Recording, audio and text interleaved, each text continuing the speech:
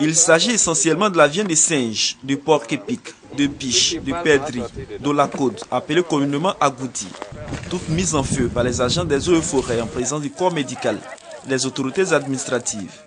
C'est le fruit de cinq jours de tournée dans les différents lieux de restauration de la région de San Pedro. Les équipes des eaux et forêts ont renforcé leur dispositif dans les différents corridors pour empêcher l'entrée de la viande de brousse dans les agglomérations du district du Bassa-Sandra. En fouillant dans les congélateurs, en fouillant dans les cuisines et autres, on a pu mettre la main sur euh, euh, cette viande-là. Cette opération initiée par le préfet des régions, Koulibaly Ousmane, va durer six mois.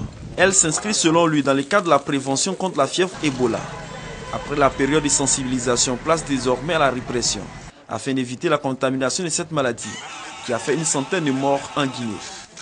Vous savez, quand il s'agit déjà de la santé publique, on ne parle pas de son intérêt personnel.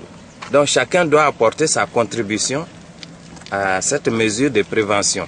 Et ça commence par les tenanciers des maquis. C'est leur part de sacrifice, j'estime. Il n'y a pas de dédommagement possible. Ce n'est que le début. Nous avons engagé. Nous allons le continuer. Le préfet des régions a également invité la population à respecter les consignes sanitaires afin de s'éloigner de la fièvre Ebola.